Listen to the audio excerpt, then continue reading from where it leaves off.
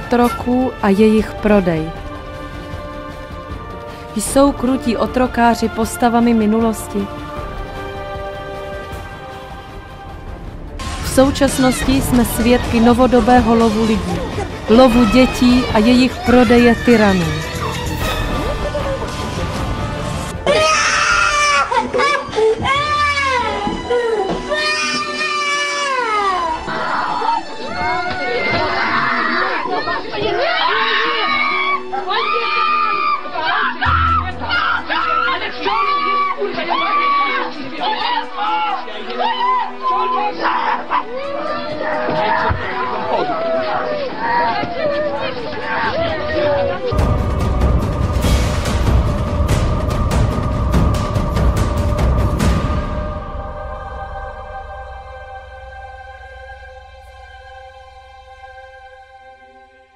Juvenilní justice je systémem krutého bezpráví, který chytá do svých otrokářských sítí bezbrané děti. Z názvu by člověk předpokládal, že juvenilní justice se zabývá ochranou dětí a kriminalitou nezletilých. Ale opak je pravdou. Juvenilní justice nemilosrdně vyrvává plačící děti zoufalým rodičům, a to z umělých, absurdních příčin a bez soudu. Rodiče jsou zbavováni rodičovských práv bez odvolání. Tento zločinný systém již funguje ve většině zemí. Například ve Francii v roce 2008 takzvané sociální orgány unesly z rodin přes 110 tisíc dětí. V Německu rodičům jen za jeden rok nenávratně ukradli 70 tisíc dětí. Jde o nejkrutější tyranii a bezpráví v dějinách lidstva. Přestože jsou rodiče ochotní udělat cokoliv, aby dítě dostali zpět, téměř nikdy se jim to nepodaří. Musí se obrátit na takzvaný juvenilní soud, což se táhne roky a většinou zcela bezvýsledně. Celý systém juvenilní justice je podlým násilím na těch nejmenších, bezbraných a do nebe volající nespravedlnosti. Jeho ovocem jsou zoufalé matky bez dětí, sebevraždy a umělí sirotci v novodobých lágrech. Většina dětí se stává živým tovarem výnosného zločinného obchodování. Juvenilní justice je abnormálně intenzivně propagována pod vzletnými podvodnými hesly o boji proti násilí v rodině. Způsob, kterým se tento biznis s dětmi zavádí, není pokoutný černý obchod, ale státní zákon. Rodinu pod vznešenými frázemi o právech dětí likviduje vlastní stát. Jak funguje tato novodobá pirátská služba? Jednou z pastí, do jaké se chytají děti, je takzvaná linka důvěry. Это пункт приема детских страхов. Здесь мы храним все, чего вы раньше боялись. Сюда звонят дети Алло. и меняют страхи на улыбки. Мне страшно. Давай поговорим, и твой страх уйдет. Девочка все рассказала, и ей стало легче. Если ты тоже чего-то боишься, позвони в пункт приема детских страхов. 8 800 200 01 2. Po takové reklamě malé, ještě nerozumné dítě rádo zatelefonuje. Ve své naivitě řekne do telefonu vše a neutrální informace o rodině se stávají důvodem, aby přišel pracovník sociální služby, provedl takzvanou preventivní kontrolu a odvezl nejen dítě, které zatelefonovalo, ale všechny, které se v rodině nacházejí. Past linky důvěry je nejúčinnější v případě dospívajících, kteří často vzdorují rodičům. Prakticky v každé škole se setkáme s plagáty, které vybízejí děti, aby volali na linku důvěry, když rodiče takzvaně porušují jejich práva. Například pokud vaše dcera mije nádobí, juvenilní justice vás za to může potrestat, protože využíváte její pracovní sílu. Jestliže nedáváte svým dětem nadměrné kapesné, dopouštíte se takzvaného ekonomického násilí. Pokud nedovolujete vašemu synovi dívat se na pornografii v internetu, omezujete prý jeho právo na informace. Totiž podle juvenilní justice si dítě může dělat, co chce. škodit sobě i druhým a vy jako rodiče ho nesmíte vychovávat, jinak za to budete potrestáni. Kromě toho ve školách probíhají kurzy o takzvaných právech dítěte. Učí děti, jak právnicky správně podávat žaloby na vlastní rodiče. Jen za rok 2011 asi 20 nezletilých z Kijeva podalo k soudu žalobu na své rodiče s požadavkem, aby byli zbaveni rodičovských práv. Jeden z případů. Matka nepustila dceru na diskotéku a ta na ní podala žalobu k soudu. Pracovníci juvenilní justice hledají cestu, jak dostat pod kontrolu každou rodinu. Za tímto účelem jsou dětem ve školách rozdávány dotazníky. Z informací o dítěti a rodině se pak vykonstruují umělé důvody ke kontrolní návštěvě a odebrání dítěte. Takové dotazníkové akce proběhly i na Ukrajině v několika oblastech. Jaké jsou dnes důvody k odebrání dítěte? Například Byt takzvaně potřebuje opravu. V místnosti je prach, na podlaze jsou rozházené dětské hračky, dítě bylo s matkou v kuchyni v čase přípravy jídla, dítě často a hlasitě pláče. Jiným důvodem například je, že ve vaší ledničce není dostatečné množství pomerančů. Prostě když sociální pracovník nebude spokojen s obsahem vaší ledničky, vezme vám dítě. Všimněte si, že důvody k odebrání dětí jsou absurdní, založeny na relativních a subjektivních pohledech sociálních pracovníků, kteří pracují v přesném souladu s genocidní ideologií. Zaměřují se zejména na mnohodětné nebo málo zabezpečené rodiny a svobodné matky, kde se dá čekat, že se proti zločinné mašinérii nebudou umět bránit. Toto je však jen začátek, než se systém v koření. V další etapě se nájezdy juvenilních pirátů soustředují na dobře zabezpečené rodiny. Příkladem je rodina Borových v Anglii. Když šla paní Ivana se starším synem na lékařskou prohlídku kvůli infekci, lživě obvinili jejího manžela ze sexuálního zneužívání chlapce. V zápětí na to přijela sociální služba a odebrala nejen staršího, ale i mladšího syna. Manželé Borovi se snažili získat své děti zpět, ale narazili na neproniknutelnou stěnu juvenilního systému. Sociální služby začaly diktovat manželům nejrůznější podmínky.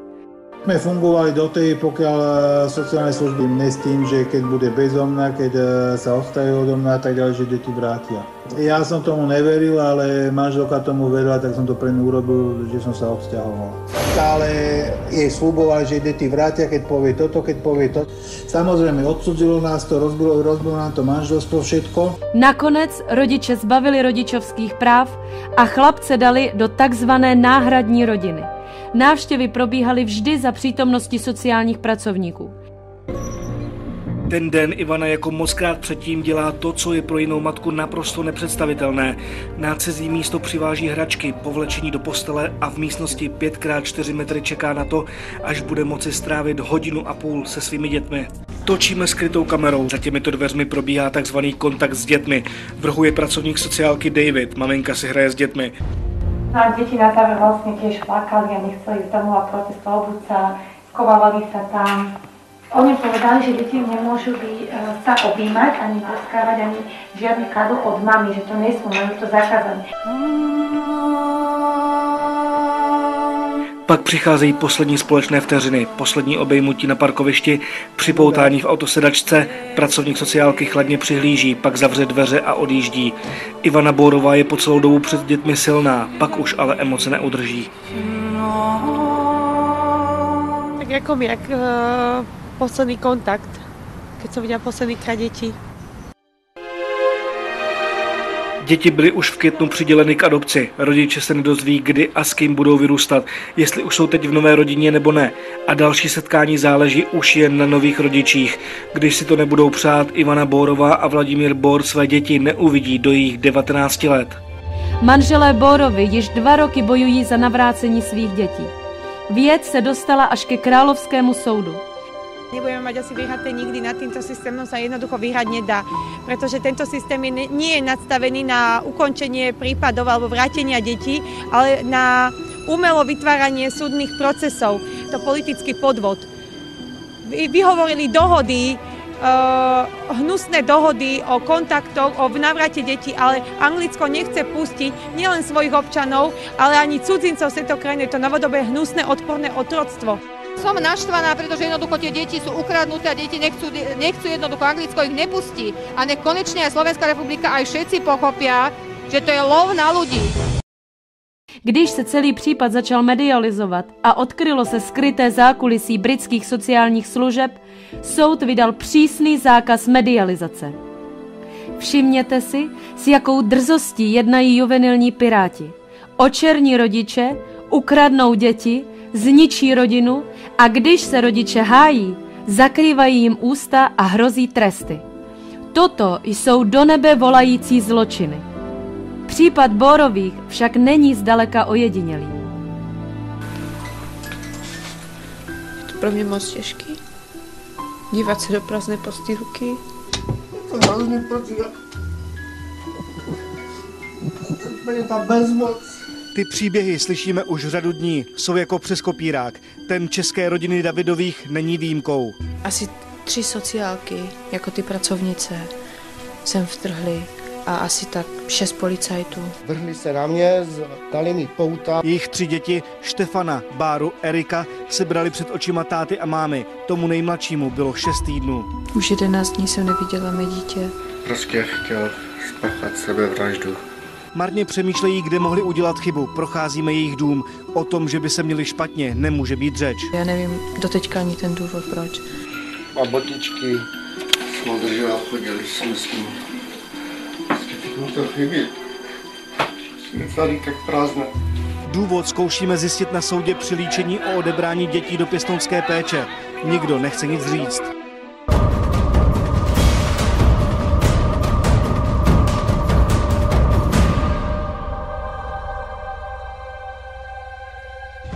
Děti jsou násilím vytrženy z milujícího rodinného prostředí a umístěny do cizího prostředí novodobých lágrů. Přitom prožívají hluboká psychická traumata. Pláč, neutišitelný stesk po rodičích, strach z neznámého prostředí a lidí, kruté zacházení, to vše poznamená dítě na celý život. Sběrný lágr se stává pro dítě vězením. Podle oficiálních statistik je na Ukrajině 90% dětí v dětských domovech znásilněno.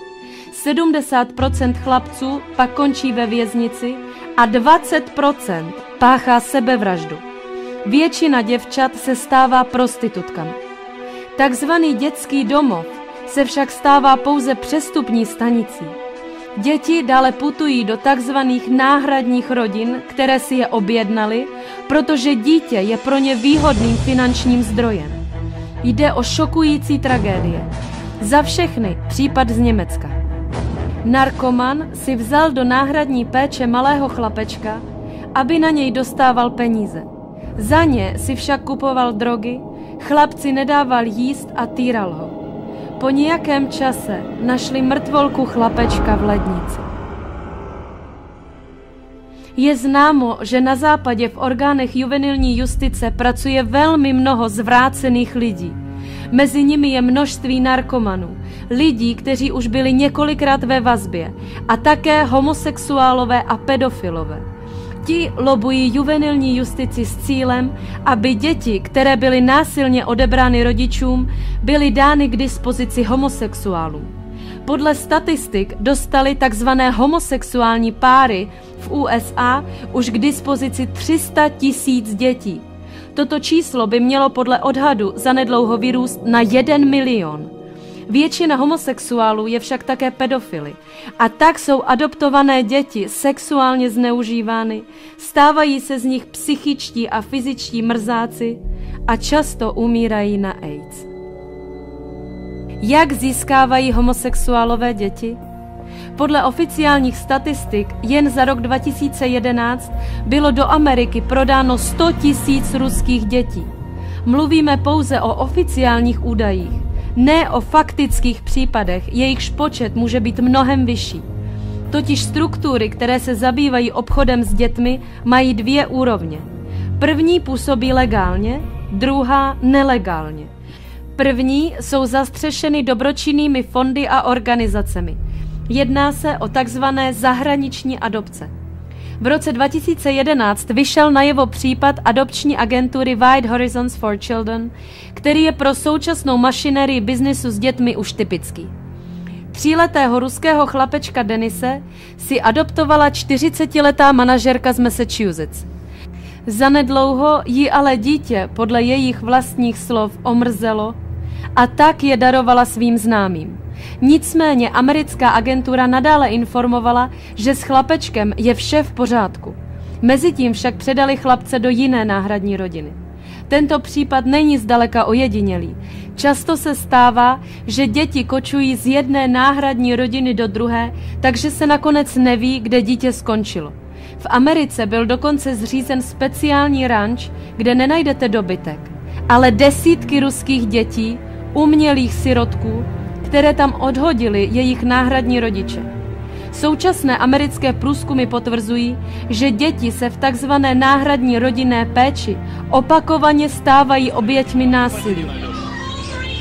Marsha Laury, která se zabývá touto problematikou, říká, Prakticky jsem se nesetkala s chlapci ani děvčaty, kteří by v náhradní rodině nepřetrpěli jakoukoliv s forem sexuálního násilí.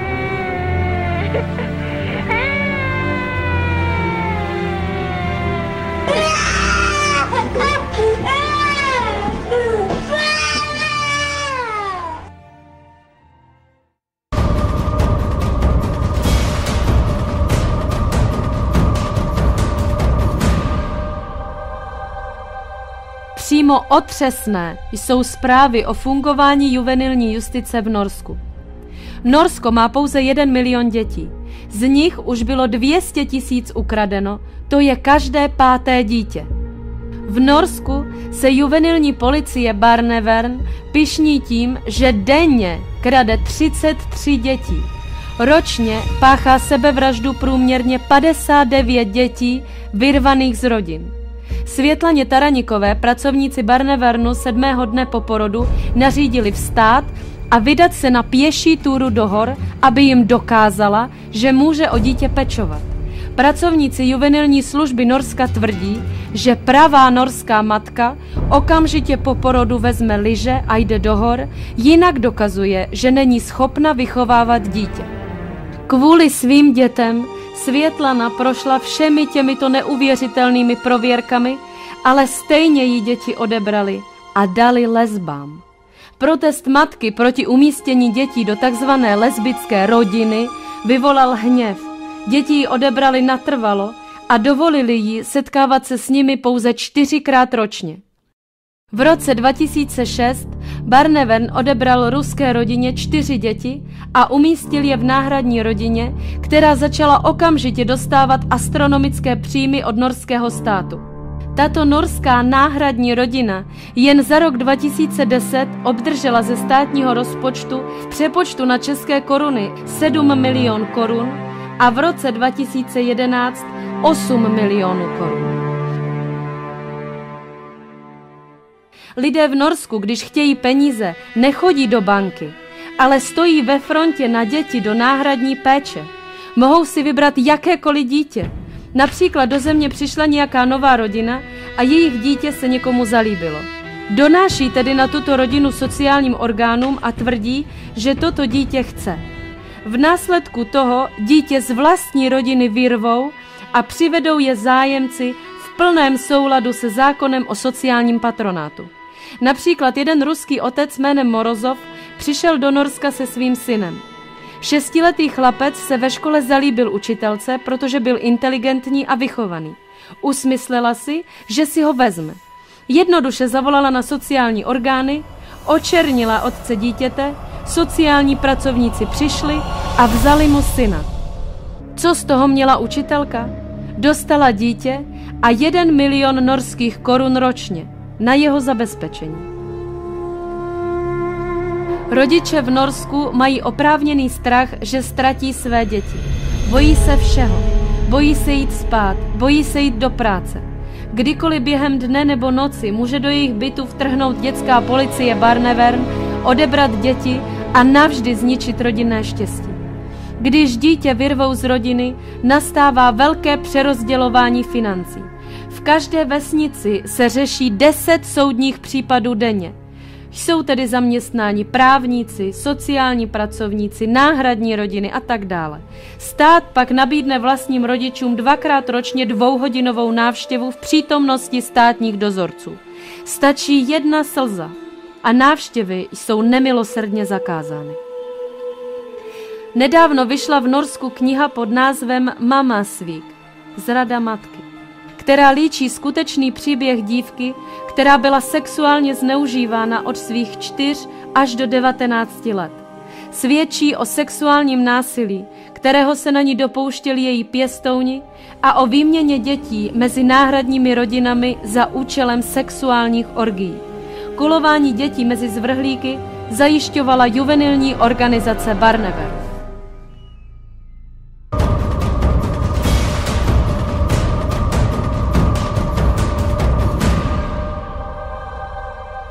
Ve Finsku bylo v roce 2011 oficiálně ukradeno jen z úplných rodin 16 500 dětí. Děti vyrvané milujícím rodičům jsou sexuálně zneužívány, sociální služby s nimi obchodují a dostávají velké sumy peněz od státu na každé uloupené dítě. Každý týden jedna rodina jen v pětimilionovém Finsku páchá rodinou sebevraždu v následku psychického stresu způsobeného zločinci juvenilní justice. Ve Finsku jsou tyto rodinné sebevraždy už masovým jevem. Desítky otců zabili své děti, jejich matky i sami sebe v děsivé panice z juvenilníků, kteří se jako teroristé prolamovali do jejich bytů a domů. Tyto statistiky jsou přísně utajovány. Za medializaci jsou rodiče krutě trestáni. Přesto se některé případy nepodařilo utajit a byly zveřejněny. V prosinci 2011 ve městě Vantá muž zabil dvě malé dcery, když se sociální pracovníci blížili k jejich domu, aby děti násilně odvlekli a izolovali je od rodičů. V prosinci 2011 ve městě Kouvola matka zabila své dvě dcerušky, pětiměsíční a tříletou, ze strachu před juvenilními piráty. Ze stejné příčiny v listopadu 2011 otec zabil své dvě děti v obci Tyrnovo. V říjnu 2011 ve městě Varkaus otec rodiny zabil svou ženu a syna nožem, když státní patronát zazvonil u dveří. V dubnu 2011 ve městě Ikálinen otec zastřelil svou ženu, syna a pak sám sebe. Proč rodiče v strašném zoufalství zabíjejí sebe i své děti? V případě odebrání dětí se totiž finští rodiče nemají právo odvolat nebo situaci jakkoliv ovlivnit. Sociální pracovníci oficiálně ukradené děti prodávají soukromým firmám, které se zabývají přerozdělováním dětí. Systém juvenilní justice vytváří ve Finsku skutečně síť koncentračních táborů. Pokud se sem dítě dostane, nikdy nebude propuštěno zpět. Děti jsou pro vlastníky tohoto biznisu zdrojem obrovských dotací od státu. Anastázii Zavgorodné ve městě Vantá orgány státního patronátu 7. září 2012 násilně ukradly čtyři děti. Šestiletou dceru, dvouletá dvojčata a dokonce i novorozený. Nejprve šestiletou dceru sociální pracovníci odvezli do Helsinek, kam за ней родичи přijeli. Я ее просто обняла, и она меня в, в меня вцепилась, не хотела. Они, когда она поняла, что ее забирают куда-то, что она спросила, я что, и ночевать там буду? Они говорят, да, и ночевать будешь. Она заплакала. Pak sociální pracovníci zavolali policii a ta vyrvala dítě z matčiných rukou. Просто оттащили от ребенка, ребенка оторвали силы, схватили за обе руки. Я говорю, отпустите меня, я беременная, я пойду сама. Но никто не слушал, меня просто тащили по полу, с двух сторон полицейские на улицу вытащили. Jejího manžela povalili na podlahu, ruce mu dali za záda a nasadili želízka. Rodiče odvezli na policejní stanici a vyžadovali po nich, aby zaplatili pokutu za to, že bránili své děti.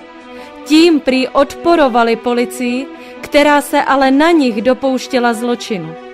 Bylo jim oznámeno, že za dvouletými dvojčaty nemusí spěchat, protože sociální služba je už odebrala. Týden po narození sociální služba ukradla i novorozeně. На пороге стояло четыре полицейских и работники социальной службы. Сказали, что у них для меня печальные новости, чтобы я присела. Вот. Ребенок заплакал, я хотела подойти, они говорят, вы не можете больше подойти к ребенку, у вас нет права этого. Полицейские стали в дверях комнаты, где ребенок, и меня не подпустили уже к ребенку.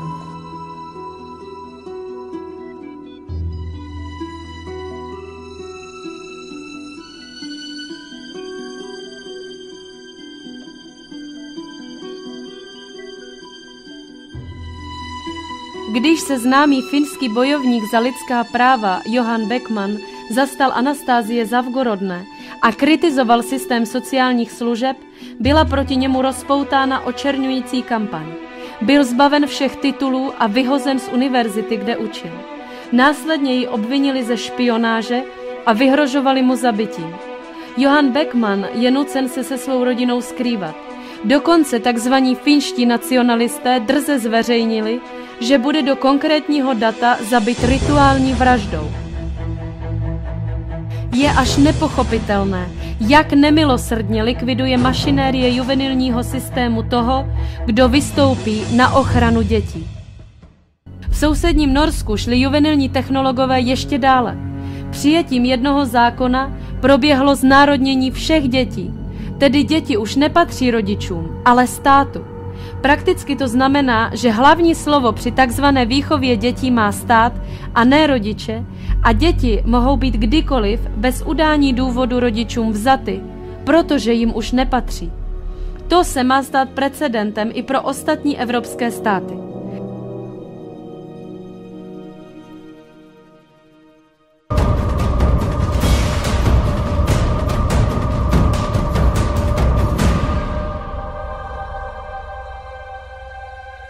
Izraeli bylo již ukradeno 75 tisíc dětí.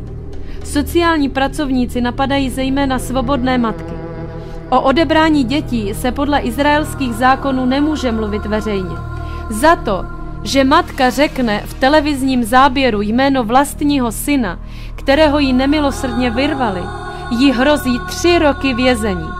Rodiče, kterým odebrali děti, manifestují se slogany Vraťte nám naše děti.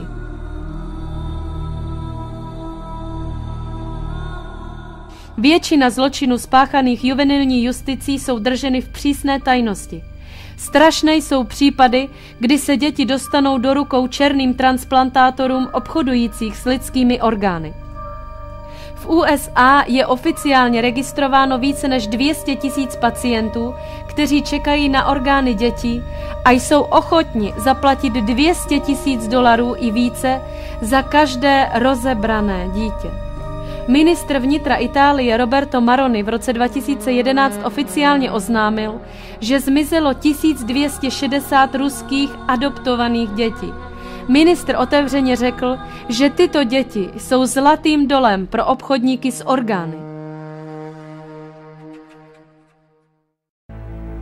Kdo má zájem na tom, aby byl globalizačně zaváděn systém juvenilní justice?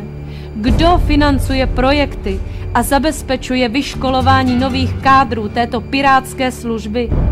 Za vším stojí takzvaná světová elita, skupina velmi vysoce postavených a bohatých lidí, kteří usilují o takzvanou redukci lidstva a proto všemi způsoby pracují na zmenšení populace. Podle jejich teorie by se měl počet obyvatelstva snížit ze 7 miliard na pouhou půl miliardu. Rodiče proto pokládají za nepřátele a delikventy, neboť mohou zvýšit počet obyvatel planety byť jen o jedno dítě. Proto se rodiny staly terčem útoků juvenilních technologií. Juvenilní diktatura je nejúčinnějším prostředkem k antirození dětí. Mnoho mladých lidí nechce mít děti. Bojí se, že kdyby je měli, vezmou jim je. Evropské státy vymírají. Je jasné, že národ, který nemá děti, nemá budoucnost. Juvenilní justice je jako trojský kůň ve státě.